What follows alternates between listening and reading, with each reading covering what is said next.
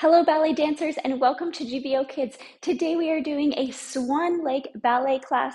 I'm going to tell you the story of the beautiful swan Princess Odette.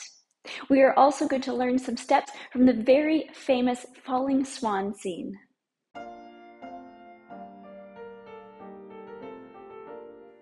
Once upon a time, there was a beautiful princess named Odette, and a very mean magician cast a spell on Odette and turned her into a swan by daytime and a human or a maiden only by nighttime.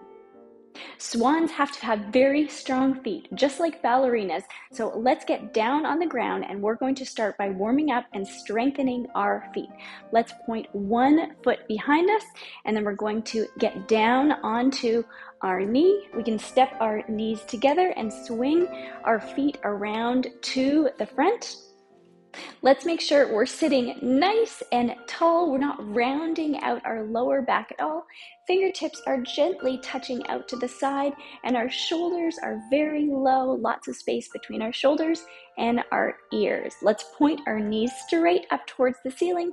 We're going to flex, point, flex, point, flex, point, flex, point. Beautiful. Now let's flex one and we're going to switch. Switch, switch, switch, switch, switch. Keep going. Sitting tall, not slouching at all. You're getting such beautiful ballet feet. Let's bring them both up to a flex position. And now from the tops of our legs, let's turn them out so our knees and our toes are pointed out and we can point, flex, point, flex, point, flex, point, flex. Beautiful. Let's shake it out. Now we're gonna come down to a lying down position and we're gonna work on our turn up. I'm gonna swing my legs around to the side and we can lay down. We can extend our feet out, pointing our toes. Let's bring one knee pointed up and then keeping our hips very still and our belly button is not going to move at all. We're going to turn that knee out to the side without rolling over at all. Let's bring it back up, turn it out, and up. If your knee doesn't go as far down as mine, that's okay. Turn it out and up. Belly button stays perfectly still.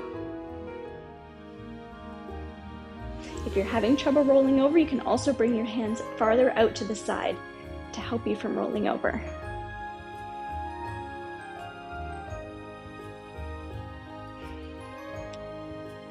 This is like our swan wing.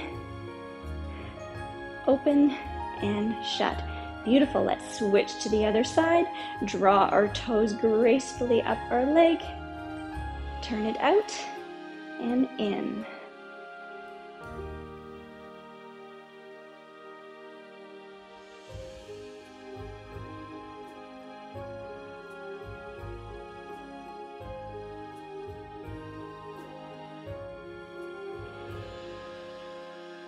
Let's do two more here.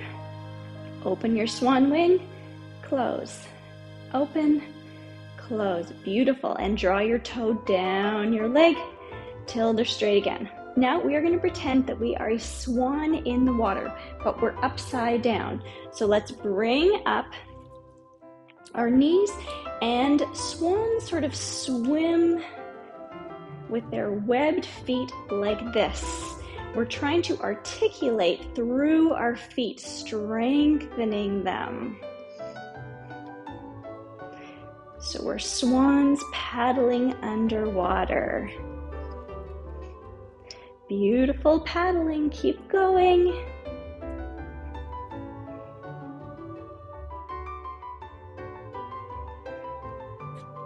And now let's point our feet in front. Let's turn them out again, cross them over, and let's try to cross them back and forth like this, keeping your tummy muscles very strong. This is hard work. And let's release them down again. Let's come back up to standing. We can roll over on our side. Let's push ourselves up onto our knees. Coming up, we can step forward, turning one leg out. Let's step up to a standing position, coming back to first position. Returning to our story about Odette, there was one way for the spell to be broken, and if this was if someone promised her forever love. Luckily, there was a prince that lived nearby who had been meeting Odette during the night when she was a princess and had fallen in love with her.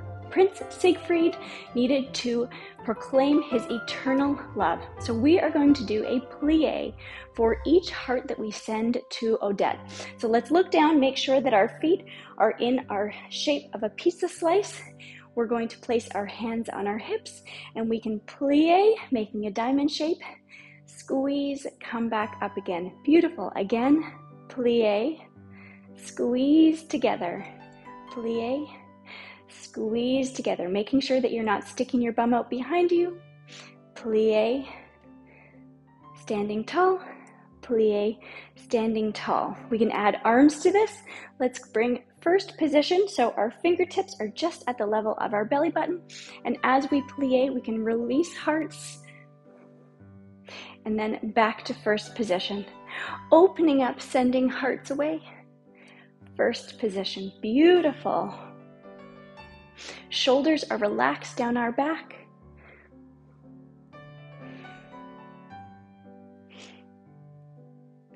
Knees are pointed out to the side when we plie. Down, up, beautiful, bringing our hands back to our hips. This looks very hopeful that the spell might be broken for Odette, but the mean magician has a plan.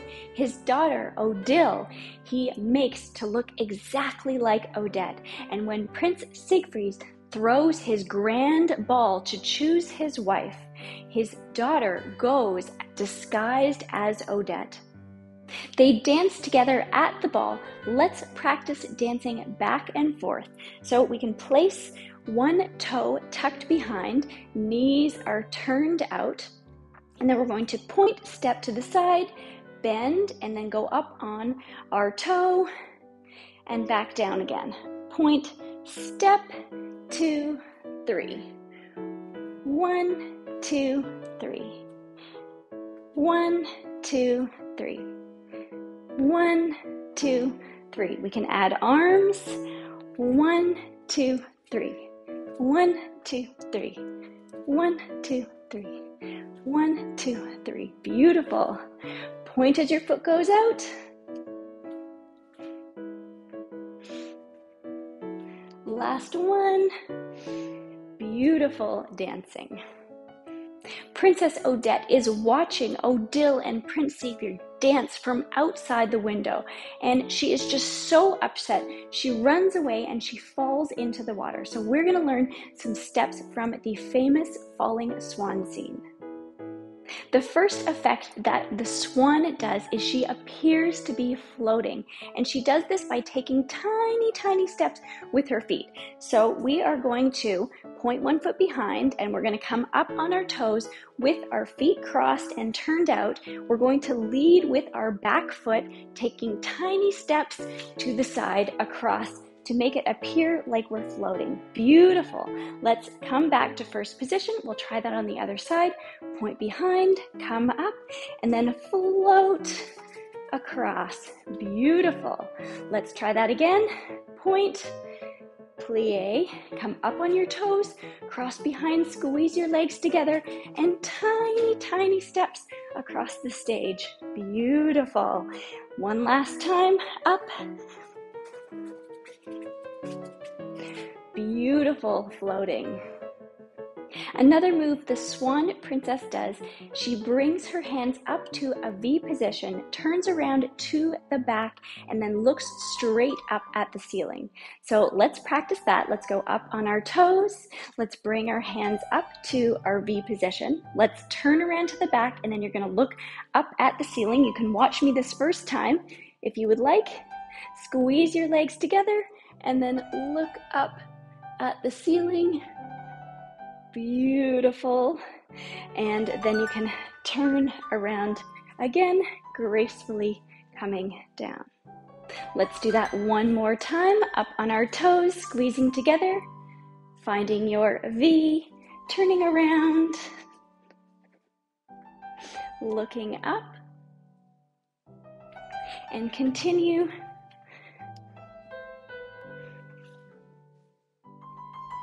Another ballet dance the falling swan does is her arabesque move. So we're going to turn and face the side. We can bring our toe up to a coupe position. Let's step, take our hands to arabesque, pulling our tummy in, standing tall. And if you can, you can lift off that back leg. Beautiful. Lowering it back down again and bringing your feet in, hands back to bras bas. Beautiful. We can try that on the other side. Let's turn around, bringing that foot up to coupe. Let's step, arabesque, soft elbows, soft hands, turning out your legs from your hip bone, then gently lifting off that back leg, releasing it down again, bringing it back in. Beautiful arabesques. We're going to do our final move where the swan princess falls to the ground, but we're going to do it gracefully as a ballerina would. Let's take our hands onto our hips. We're going to point that foot behind us and let's come down onto our knee, making sure that our front foot is turned out. And then we can actually point that front foot and then sit back onto our heel. Let's gracefully take our hands up, cross at the wrists, and then we can fold forward. Beautiful. And let's come up just as gracefully. We can bring our hands out to the side, back to our hips. Let's come up and we can practice on the other side, bending our front leg, stepping to first position. We can set up for the other side, pointing the foot, stepping back onto your knee. Front knee is turned out. And then let's point our front foot, sit back, gracefully hands up, crossing over, leaning forward, pointing your front foot. Beautiful. Open your hands up to second position, back on your hip, and we can get back up to first position. We are going to finish up with our ballet curtsies, but before we finish up, make sure you go ask your adult to help you download the Swan Lake activity printable that I'm going to link to in the description box below. This activity is going to focus on the sound that S makes. Do you know what sound it makes? S makes the sound right? Can you think of any word that starts with an S? How about swan? Let's take our curtsy now. We're going to point our foot, step out to the side, tuck our foot behind, and then curtsy. We can step to the other side, step, point behind, curtsy. Beautiful curtsy, and you are a beautiful ballet dancer. Thank you so much for dancing with me. I had so much fun dancing with you today. I am going to keep putting out ballet videos and kids workouts. If you like videos like these, subscribe and hit the notification bell. And don't forget to go grab your Swan Lake activity sheet, and I will see you next time.